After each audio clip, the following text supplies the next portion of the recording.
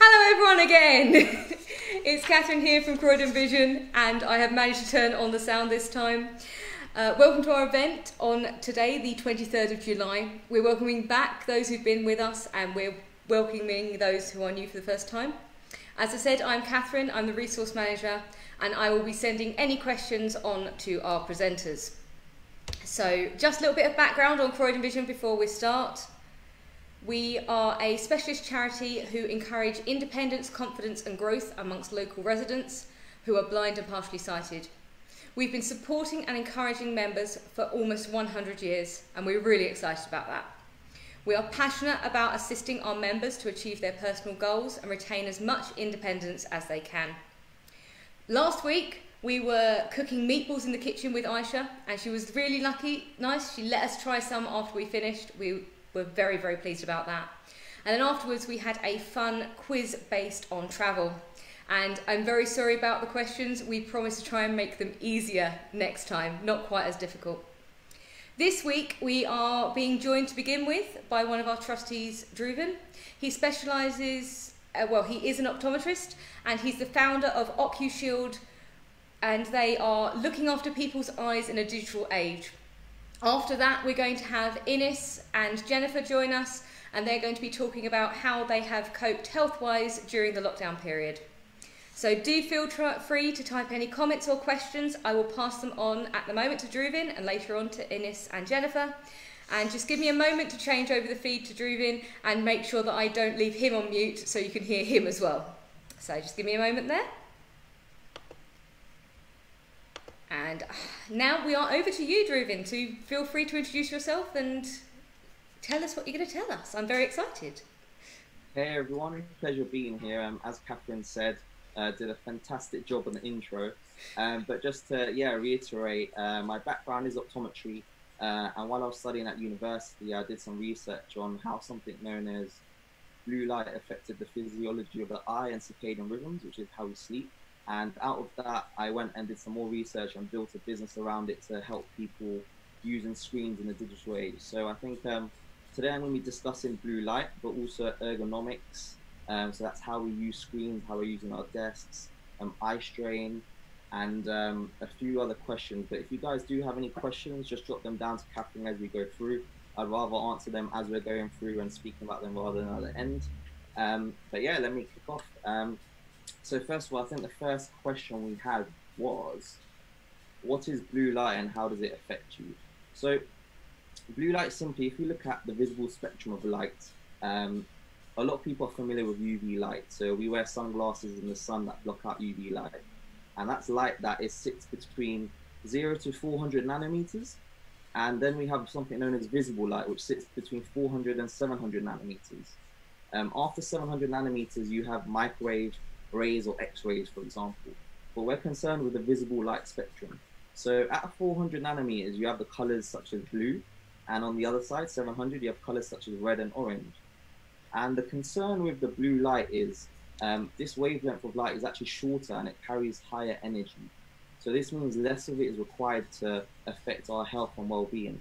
Now, one of the big key things here is if some of you suffer from macular degeneration or know about macular degeneration, one of the risk factors alongside smoking, for example, is blue light. And blue light, one of the biggest sources of blue light is actually the sun itself. Um, other sources of blue light is LED lighting around us and also digital devices. A good way to decipher if there's blue light in anything around us is the color of the light.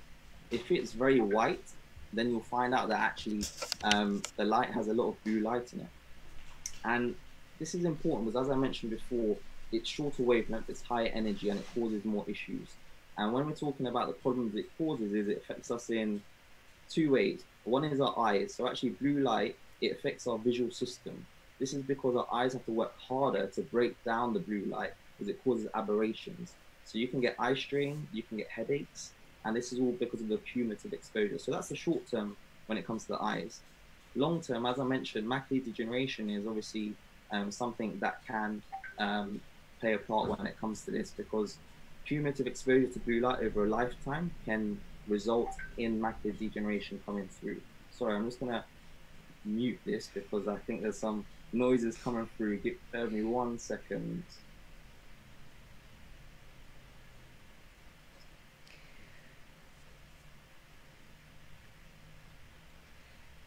Okay, nearly there. That's okay. I had problems with lack of sound earlier. yeah, no, I don't want I don't want it to be pinging off while everyone's listening, and then it's a it's a bit frustrating. I've been there, so all right, there we go. Let's brilliant. Thank you so much. That's all right. Um, perfect. Okay, good. Yeah. So as I was talking about macular degeneration, um, the, the key thing here to note is the sun is the biggest source of blue light. So you know the intensity is very strong. So if you're in the sun for a few minutes, the amount of blue light you're going to get is far greater than you know when you're looking at a light source inside or when you're looking at screens. But one of the biggest factors is as well as intensity is proximity and duration. So if you spend let's say 50 years looking at a screen, you know at the moment there's research that's showing you know the initial problems of blue light exposure from different sources, but there hasn't been research done into you know dozens of years because if you look at how long devices, for example, have been out for LED lighting, it's only you know 10 to 20 years. So research is at a really early age here, but we do have kind of studies on animals and families and cohorts that show that there is a risk there, especially for children, for example. So children's lenses in their eyes don't develop through the teenage years, and the lens is actually really important at absorbing UV or blue light. So children actually are more susceptible to UV or blue light damage. So any of you that have children or families with children, you should always be recommended, even in an overcast day outside, is wearing sunglasses because there's a lot of UV light emitted. And then also when you're indoors or looking at screens, you know, you want them to be protected from the blue light. Second thing on the other side of spectrum is when we get a little bit older, the lens gets a little bit darker due to the cataracts and gets a bit thicker. And I'm sure some of you have had cataracts removed. Now, the cataracts actually serves as a natural um, natural absorber of blue light, but when it's removed, you have a clear window again. And this can also mean that you're absorbing more blue light. And as we get older, there's something called the macular pigments, which are absorbing blue light naturally, which we have a lot of when we're younger, but as we get older, they deteriorate. That's why when you see your optometrist or your uh, GP, they're always telling you to eat your green vegetables, your bright vegetables, because it actually strengthens the pigments within the eye, which is lutein and zeaxanthin, which absorb the blue light. Um, so, you know, those are the two, risk, two main risk groups, which, you know, you should be looking at how blue light's interfering a little bit more so um, than others. So the eyes, I mentioned short term, which is the eye strain and headaches. You've got long term impacts, which is such things like macular degeneration. Secondly, blue light affects us in the way we sleep. So something known as a sleep wake cycle. So we have a system within the body which tells our tells our body, you know, it's it's the daytime and the nighttime. So it, our bodies are really clever. So when the sun rises, the blue light in the morning tells our body that it's the day because it's a it's a, it's effectively it's, it's natural alarm clock. So if you look at the caveman days, we used the sun to, lo- to tell us it was the, the morning, and then obviously pitch blackness to tell us it's you know the night. And what we're doing here is we're replicating the sun in our home environment. So when the sun sets in the UK, let's let's talk about winter, for example, when I think it's as early as 3 p.m. sometimes, and it gets really dark when you're working, going home from work, or you know if you step out. Um, if you start using devices in the evening, let's say from 6 p.m. onwards, you're creating a replicating effect of the sun. And what that does, it tells your body that actually, no, it's the daytime. So something known as melatonin, which is an important hormone for the body, it actually doesn't get secreted. And melatonin is the hormone which tells your body it's time to sleep. If your melatonin levels melatonin levels are low, then your body won't be ready for sleep. So if, even if you try to go to bed, you'll be shuffling around, really finding it hard to fall asleep. So that's why melatonin is important.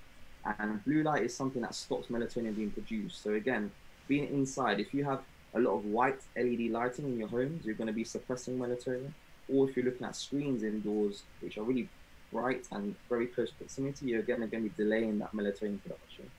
So these are two key things that we should watch out for and be concerned about when it comes to, to blue light, our eyes and our sleep.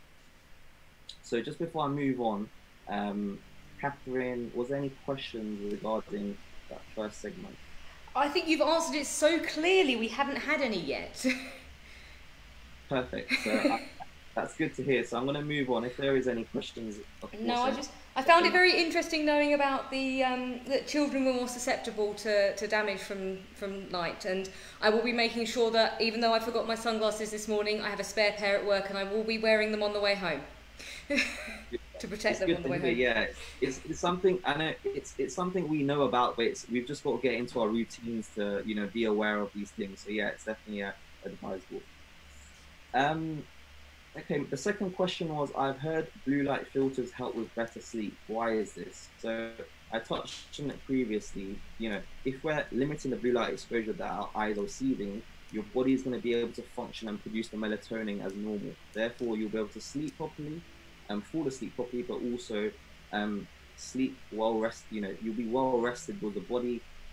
Even when you're sleeping, you could be actually sleeping not very well. So, you know, some people stay half they stay half awake, half asleep. You want to be in a deep cycle of sleep. And what happens when you're in a deep cycle of sleep? Something called rapid eye movement.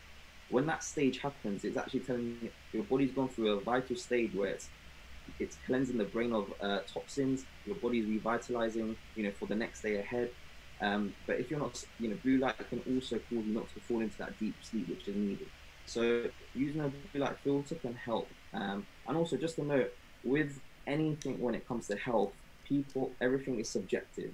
So one person, I'll give you an example. So if someone smoked, if for example someone smokes a cigarette, one person can smoke one cigarette and they'll be really affected by the cigarette and they won't be able to maybe jog for a few minutes. Whereas someone can smoke 20 cigarettes and they could still go for a jog. So different, the same way with blue light. Some people are more easily affected by blue light and some others aren't. So these are things to to also log within your body and to know how you feel. Because again, when it comes to sleep, sleep is such a complex um, phenomenon that there is other things at play. So you should always try and create a diary as well when you're looking at how to sleep better. But blue light is one of those things that can impact your sleep.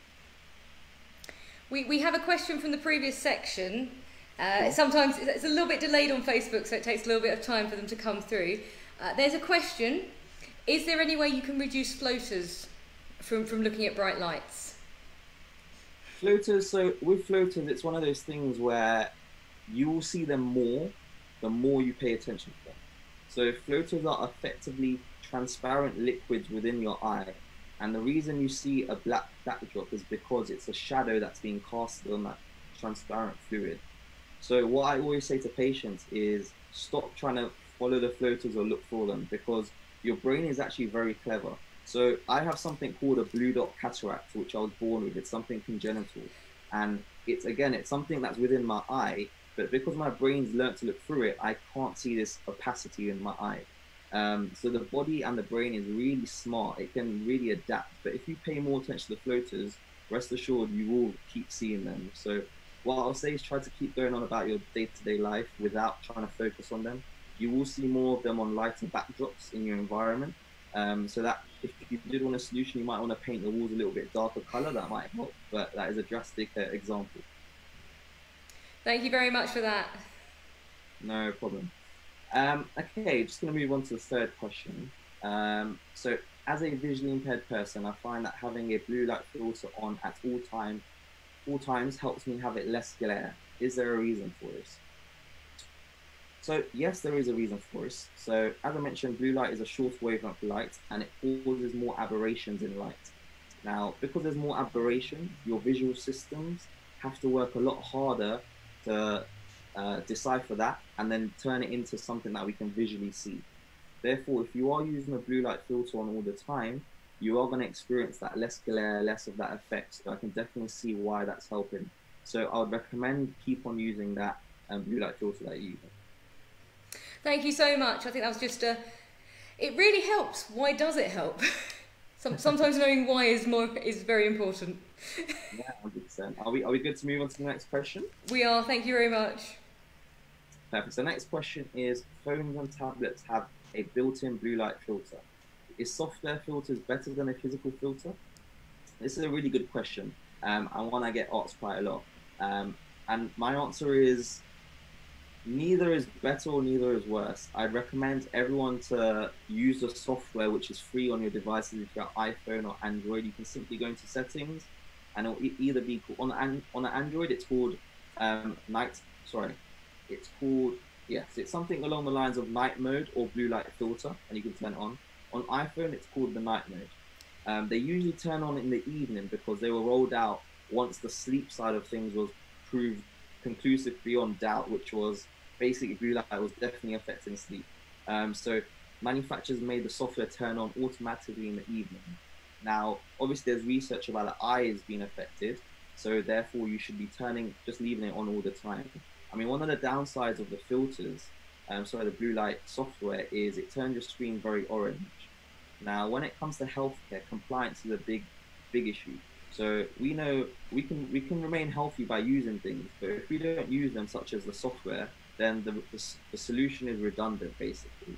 So, for example, the filters that OcuShield, my company, makes is we've been able to create a, a nice balance between um, aesthetics and also blue light filtration. So our products don't turn your screen very orange and ugly, which makes it look like a retro 90s or 80s film. Um, so this is really useful, for example, with children. Now, children, again, they like to be very cool. They like to be on Instagram, Netflix, and they don't want an orange filter on their screen. And they'll just turn software off, even though the parents have recommended to them. But parents will buy the products and put it onto their child's device because they know they're being protected and the child's not going to pick up a, a fuss or take off that product. So that's a that's a good example of you know when to use what products. But I'd say definitely use the software. If you don't like the software for whatever reason, you know, because of the aesthetics, I'd say get a physical filter because that way you'd still be protected, but you're not going to, you know, you're going to be using the product at the end of the day. Brilliant. I, I've got a question for myself. I said, I don't tend to notice a blue light filter after about an hour yeah. of, of, of actual use. But I have, it, it's occasionally I suddenly look at my screen and go, why is everything really red? yeah. is no, that just your brain sort of filtering it out? Yeah, yeah. So again, it's one of those things when you turn it on, you'll be like, wow, this is really orange. But as you said, you, you know, you'll get used to it. So some people, if you just leave it on, you'll get used to it. But then after you come to a realization when you're watching or you put on a Word document or something white back, and you're like, wow, this is red. I don't, I don't know why this is, and you, you kind of just notice it after a while. So uh, yeah, that happens. I think it's for me. It's with faces. It's just like everyone's really blushing. yeah, yeah. No, my red light filter on. I better turn it off for this meeting. yeah, yeah, yeah. That happens as well. You've got to be careful as well when you've got it on because it can affect I mean, we have examples of people that are like graphic designers or like their photography. Yeah. And if you're doing photography, you know, if you've got something that's changing the colors, then it's going to affect your output. So, you know, you've got to be mindful of that. Okay, thank you very much. It's, it's just just lots of comments are very very helpful and very interesting so far. good, good, good. And the next question, I've already touched on it. Should, should I use a blue light filter in the evening or can I use it on all the time? I recommend using it on all the time. Um, you know, you do need some blue light in your life in the morning to tell your body it's the daytime, but you're not going to get that from screen. You need to be getting that from outside. So step outside if you're if you're not doing that already, especially in a time of a pandemic and a lockdown. You need to be going outside every day. I mean, I've experienced it myself. Being indoors for two days in a row, you then start realizing that it's uh, you know, you need to get outside because yeah, being being inside can um yeah can have, can affect your health, but also your mental well-being. Thank you so much. Okay. Am I good to move on to ergonomics? You are good to move on. Perfect. So, just moving on to ergonomics question. Because my vision is very low, I need to have the screen closer to me than generally, then generally it is said to be required. Is there anything I should do with help preventing bad posture? So this is a really good question and something that I've kind of uh, been trying to work out while being at lockdown, working from home on a screen. Now, with posture, you've got to make you've got to make sure that one, you have a very good um, you've got to have a very good chair that supports your back and make sure your back is straight, um, but also support at the bottom and the top of the back. You should also make sure that your knees are a little bit higher than your hips. Um, and if you're using a screen, you need to make sure your elbows are supported. So I've got a you can't see it here, but my chair has something where I can rest my elbows and I can type away. Those are the three main things which I would uh, look at when looking at your kind of chair setup. Um, the other thing is your screen. So your screen should be, I'd say, about 10 to 20 degrees lower than your natural eyesight.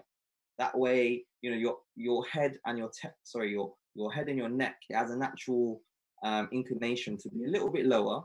Um, so you don't want it to be directly straight ahead because you're still activating your, your neck muscles. You want it to be a slightly bit lower. That way it can relax and it can look at what your, you know, your screen that you have at play.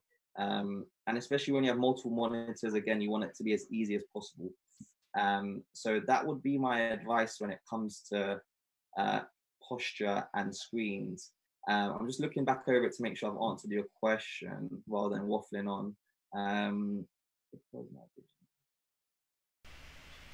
yeah, so I, I understand you're bringing the screen closer. So I think you know you're having to do that because you you know you have to see the screen, which is obviously you, you need to do that. But yeah, just don't you know make sure you have a support when you're doing that. If you're coming closer, make sure again your your back is not in no man's land. You want it to be right up against something where possible. So if if you can't do that because the chair doesn't allow, I'd recommend putting some cushions in place so at least the the lumbar, your lower part of your back is supported. Um, and then again, if you're doing, if you're staying on the screen for hours uh, on on the day, definitely take a break every 30 to 45 minutes in that position because you are going to suffer, um, if not short-term problems, you'll suffer long-term problems from the way your musculoskeletal muscles work and how it changes um, your your kind of uh, your posture in the long term. Uh, yeah, I, will pop in and uh, just put a, a, bit in on that question. I know Access to Work will always recommend a monitor arm, so you can move the monitor to the exact position closer to you rather than you leaning forwards. 100%, yeah, definitely. I think um, there's a lot of tools out there to make sure the monitors are in the right way, but yeah, definitely. You don't want to be leaning too forward. I also say with screens is make sure you're at arm's length away.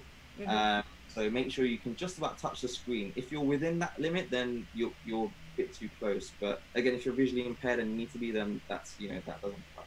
Yeah. Okay. Thank you very much. No problem. Okay, so this is the last question I have. So we have approximately eight minutes. So if anyone has questions, make sure you get them in now. So uh, Catherine can send them to me after I answer this question. Um, so the last question is, after using a screen for a long time, my eyes feel tired. Is there anything I can do to prevent this?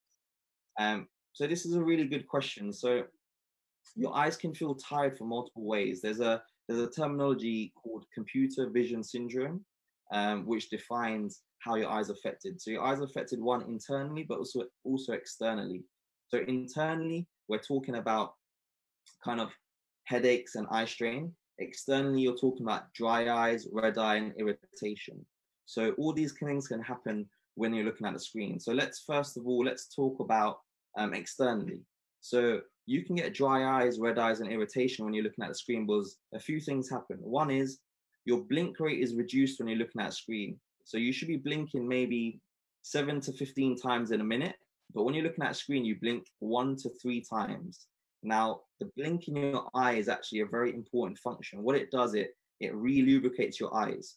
And that lubrication method obviously keeps your eyes healthy, safe, and also, you know, if any bacteria lands on it, it can also uh, kind of uh, get rid of those problems. So the blink is very important. Now, if you're not blinking as much, your eyes are going to get dry.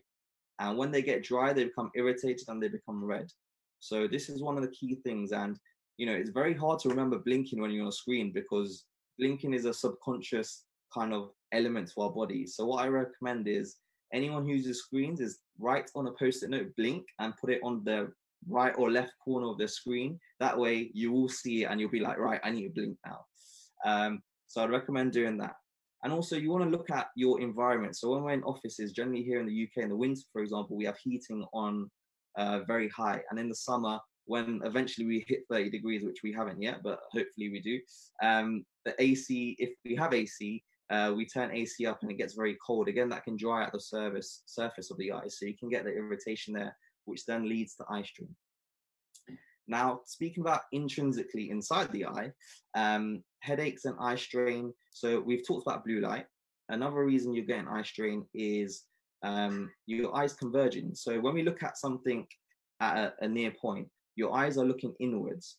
And that uses two things. It uses something called accommodation and convergence, which are both kind of intertwined and your eyes your eyes can only do this for a certain amount of time so if you're doing this for let's say 10 hours a day your eyes are really going to feel that it's like it's like having a workout you know if you're using that muscle constantly effectively it is a muscle so if you're using that constantly you're going to feel the eye strain so again there's something called the 20-20-20 rule, which I'm sure you are all familiar with. If not, it's basically every 20 minutes, um, you want to be looking away from the screen for 20 seconds, 20 feet away. So that means out the window, down the corridor, anything which just allows you to re- reset your visual system.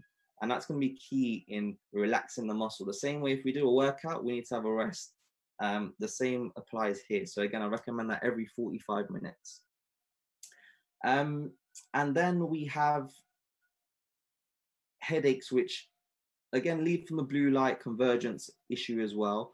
Um, I think it's all kind of part and parcel of that issue there. So I think if you maintain the breaks, if you're maintaining the distance from your screen, as I said, you know, arms length away, and you're reducing blue light. Another quick tip is to reduce the brightness of your screen. So again, intensity is very important here. If you reduce intensity, you're going to reduce blue light and also the aberrations your eyes are your eyes are uh, receiving. So I think uh, to conclude, that is my last point on that. Now over to you, Catherine, if you have any questions at all. We do. We have a couple of questions. So one of them's going back to I think a lot of the things you've said previously. We've all been talking about computers and phones. Mm-hmm. Is that the same for a tablet as well? Sort of the, the distancing and the blue light. Yeah. So tablets and phones are really it's a strange one because they're devices we have to hold to use them you know natively we're always going to be holding it at least a half or arm's length away now i think it's it's a lot tougher here because usually smartphones and tablets you're not supposed to be using them as long as you do with a computer because they're more for entertainment or on the go. Mm-hmm. but we we know now that for example children for example um, just spend ages on a tablet because they may not be doing homework because we know you know government gives you iPads to do work for example so it's very hard to do that. But I'd recommend them to put it on a screen on a sorry on a stand and put it on a desk where they can you know look at it and and do their work but if you're going to be doing it in an environment where you're having short bursts of using a smartphone or a tablet you are okay to use it within your arm's length. Um, just make sure you're not using it for too long. Again I'd say you know if you're doing it in within 30 minute bursts it's fine. But if anything longer you need to set yourself up so you have maybe a stand and you can interact with it in, a, in another means. That's really interesting. And and another one uh, one of our members has said i have macular damage. Why do i see phantom movement so interesting uh, that's a very good question when you say macular damage is that through wet amd or dry amd or both that could take us up to 20 seconds to get an answer for. So, reason, so sorry, she's is it she or he's seen phantom? Uh, she's seen phantom movement. Okay, fine. So yeah, you with the macula because it, it is a, a, central. It's part of the fovea where we see our central, um, where responsible for our central vision. You know, it it holds a very important role. And when you have retinal cells which are damaged, so each point on our retina, especially our macula, corresponds to a point in our vision. Now, if it's damaged, you have a gap effectively in your vision. Now, that gap can be, you know, it leads to things where our brain can start interpreting information which isn't there as something else. So it could be a, the phantom image you're seeing could be something which is um, already stored in your memories or or it's an inter- interpretation of your brain trying to interpret something visually but it can't now because those rods and cones in your retina are damaged within that area um, also, with, with the phantom images, I'll, for that the person that asked, it will be um, interesting to also speak a little bit more on that. Because there's something also called Charles Bonnet syndrome, which you know it might tie into that. It might mm-hmm. not be related, and I definitely recommend that patient speak, reaching out to the optometrist on that more and mentioning Charles Bonnet syndrome if they don't know already what that is. Um, apparently, the the reason for the macular damage is a macular hole. If that helps. okay. But the macular hole is obviously going to be yeah, it's going to be as impactful as yeah. um, because yeah, it's you know it's affecting that macular straight on. And we'll give a little bit of time in case there are any more comments from from members. But I think you've you've given so much information that you answered all of the questions that you would have been asked. That's amazing. I think we did it in good timing as well. Look, it's four thirty, bang on. Thank you so much for your time. It has been really interesting to me, and I'm really interesting to our members because they are all saying so, and very helpful and we're all going to make sure that we've all got our red light filters on and that we are wearing our sunglasses and we're not damaging our maculas any more than we have done over the past however many years we've used technology. No, perfect. And I, I look forward to seeing everyone again at Croydon Vision soon. Hopefully, uh, I can pop in sometime soon when then when there's something going on. But it um, would be great to have you, and, and I know that you are planning on coming with us to Box Hill, and we'll remind members about that later as well. Yes, I am. Yeah, I'm putting my down for the lovely uh, Box Hill hike. So thank you so much, Dhruvin. I'm just going to pop everyone on the Be Right Back soon whilst I say goodbye to. Bye, bye, everyone.